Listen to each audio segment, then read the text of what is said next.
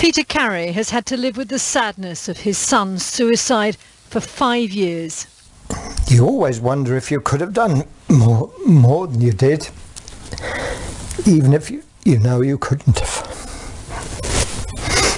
Stephen took his own life after being found fit for work on the government's work capability assessment. He'd severe depression and bipolar. You can see what's wrong with somebody if they're physically disabled to a certain extent. With a mental health, you don't always have that. Sometimes it's buried quite deeply. After Stephen's suicide, the coroner wrote an official letter to the then Labour government warning them to review the system for mental health claimants.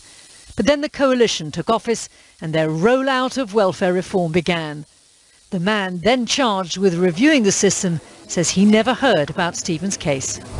Would you have made it more of a priority to look at the people with mental health problems if you'd known about this? It's easy to look back in hindsight and say what I would do. Yes, I would have.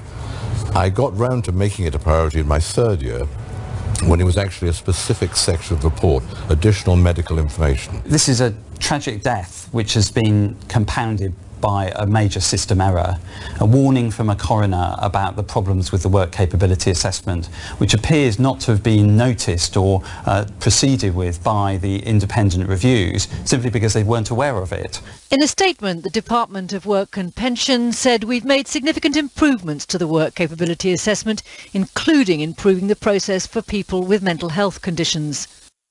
But five years ago, there could have been more help to support Stephen Carré.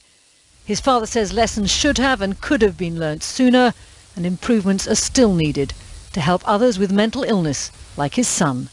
Penny Marshall News at 10, Suffolk.